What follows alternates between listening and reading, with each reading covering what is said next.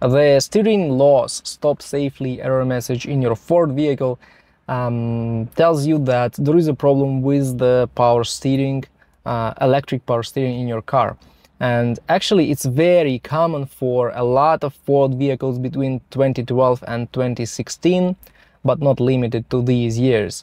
So the problem is actually with this power steering rack or with the software.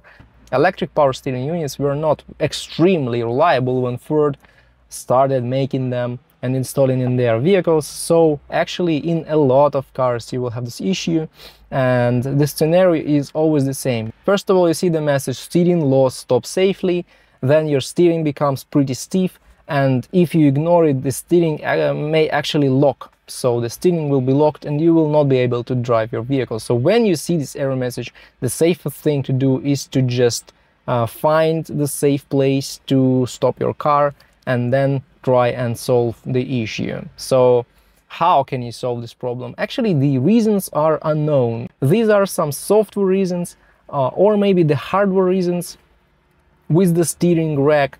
Uh, Ford never investigated this problem.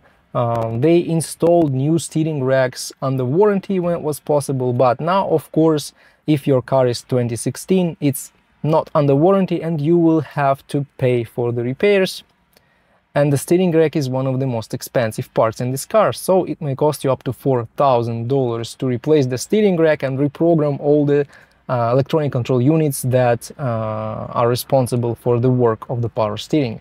I have a big article about this problem and uh, it's linked in the description. You can read all the information that I have and I will tell you about um, two ways to try and solve this problem on your own. So first of all, you may try to disconnect the battery for several minutes. When you disconnect the battery, a lot of electronic control units will reset.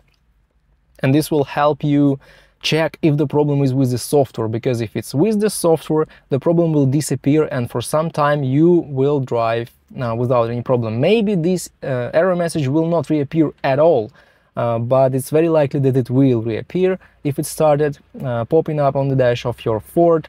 Anyway, this is one of the um, uh, DIY methods of trying and solving this problem at least for now. And then there is a second way to solve this issue on your own. Uh, you need to find the electric uh, connection on the steering rack and disconnect it. Then you need to start your car let it work for some time, idle I mean, you shouldn't drive in this case, and then uh, you should turn off the car and connect this electric connection back. Sometimes this helps the uh, electronic control unit that controls the uh, power steering uh, to reset and to recalibrate and you will not have this problem anymore. But if you completed these two steps, disconnected the battery and disconnected the steering rack, but nothing helped, you will have to go to the dealership or to the trusted repair shop and um, try to solve this problem there. There is a slight chance that the problem is with some connection, some electric connection. But unfortunately, in a lot of cars, you will need to replace or repair the steering rack and it's very expensive.